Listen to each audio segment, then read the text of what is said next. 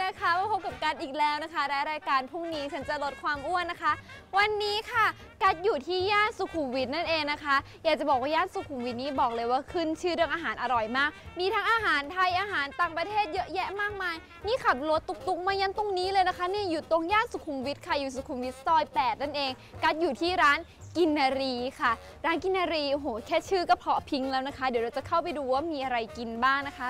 ตามเข้ามาเลยค่ะ บินเข้าดีกว่า โอ้โห สวยงามมาก สวย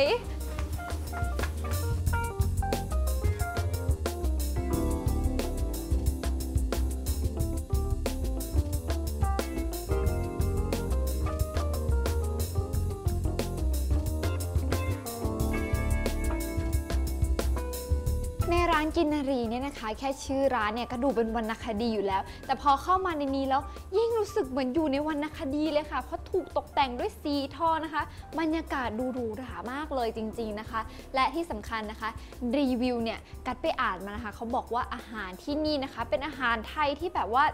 ถึงรสจริง ๆ แบบพิถีพิถันในการทำมากและเป็นต้นตำรับเลยทีเดียวนะคะ และอยากจะบอกว่าเจ้าของร้านเนี่ยโอ้โห เขาหาคิวยากจริง ๆ ค่ะ เขาแบบว่าเป็นอาจารย์สอนทำอาหารกันเลยทีเดียวนะคะ โอ้ยหิวแล้วอะ แค่แบบดูทุก ๆ อย่างรวมกันแล้วก็แบบท้องร้องแล้วอยากกินข้าวมากเลยนะคะ แต่ก่อนที่เราจะไปสั่งอาหารกันเนี่ยนะคะ ไปพบกับช่วงร้านนี้ก็อร่อยนะจ๊ะกันก่อนดีกว่าค่ะ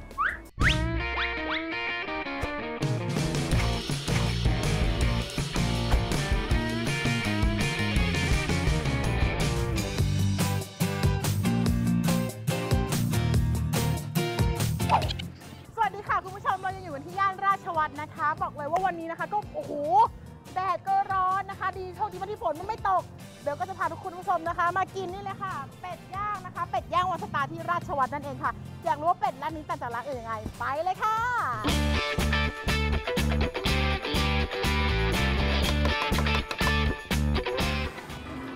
สวัสดีค่ะ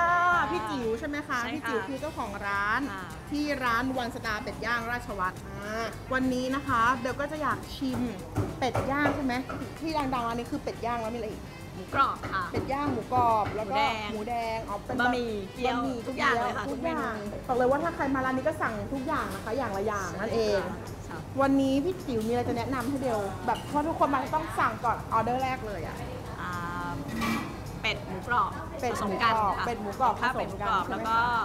เกี๊ยวกุ้งเกี๊ยวกุ้งใช่ค่ะพี่จิ๋วคะร้านนี้เปิดมาแล้วกี่ปี ประมาณ 20 ปีแล้วค่ะ 20 ปีทำไมถึงเป็นชื่อวันสตาร์ล่ะคะ คือ คือเดิมทีอะอาชีพคุณพ่อ ก่อนที่จะเป็นร้านอาหารเนี่ยทำเป็นร้านตัดเสื้อผ้า อ๋อเราใช้ชื่อร้านวันสตาร์อันนี้คุณพ่อก็ยังอยากใช้ชื่อร้านนี้อยู่คำว่าสตาร์วันสตาร์ ก็เลยใช้วันสตาร์เหมือนเดิม ใช่แต่ว่าใช่ค่ะ เปลี่ยนจากตัดเสื้อมาเป็นเป็นร้านอาหาร อันนี้อันนี้คนละเรื่องเลยนะคะจากตัดเสื้อมาเปลี่ยนเป็นร้านอาหารนี่คนละเรื่องเลยนะคะค่ะงั้นอยากรู้แล้วว่าแบบเชิจะญค่ะเด็ดขนาดไหนเดี๋ยวน้องเชิญรอให้พี่จิ๋วเลยนะได้โอค่ะเคค่ะ นี่ก็ได้ค่ะ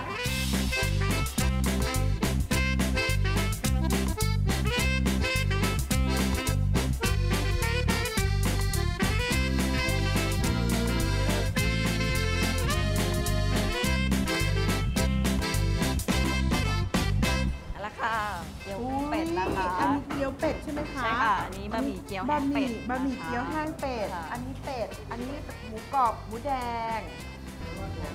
อันนี้กินคนเดียวถ้าหนูกินคนเดียว ได้เลยค่ะ เข้าทางหนูแหละเดี๋ยวหนูขอจัดการตรงนี้ ตอนนี้ขอขอบคุณมากนะคะพี่ค่ะจิ๋วสวัสดีค่ะ เอาละค่ะคุณผู้ชม พี่จิ๋วไปแล้วใช่ไหมคะ ถึงเวลาที่เราจะต้องมาชิมกันแล้วนะคะว่าเป็ดร้านนี้เป็นยังไง อย่างแรกนะคะ ที่เราต้องกินก็คือเป็ดสิคะคุณ เรากินเป็ดเปล่าๆกันก่อนนะคะ ขอเริ่มที่เป็ดเลยนะคะ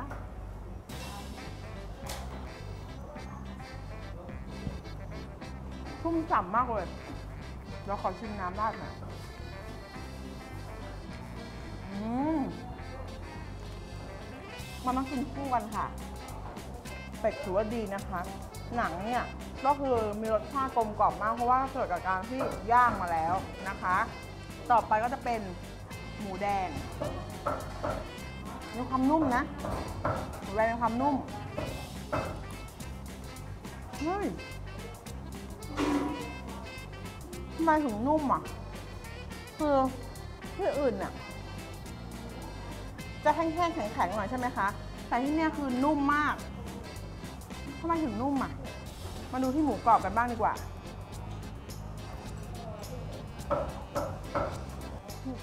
ตรงหมูก็ก็นุ่มอีกแล้วอะแต่ตรงส่วนที่มันเป็นมันอะเป็นหนังมันก็กรอบเหมือนกันนะคะ อร่อยอะเกี๊ยวนี่คือจะเป็นเกี๊ยวกุ้งนะคะขอชิมก่อน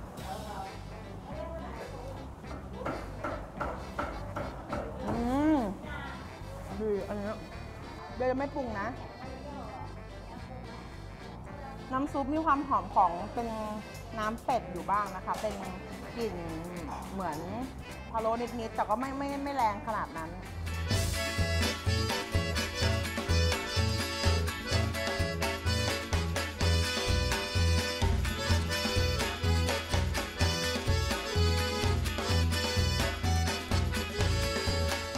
หมูแดงกับหมูกรอบที่เนี่ยมันไม่แห้งแล้วมันก็นุ่มมากแล้วก็อร่อย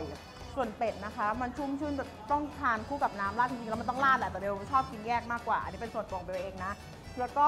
ส่วนเดียวกุ้งใช่ไหมคะกุ้งก็แบบเป็นตัวใหญ่มากๆเต็มคำซึ่งเห็นได้ชัดมากเดี๋ยวให้ดูอีกรอบหนึ่งนี่เห็นไหมอืมเห็นชัดเลยว่าเป็นตัว แล้วก็บะหมี่เราจะมาลองที่เส้นกันค่ะ ว่าเส้นจะเป็นยังไง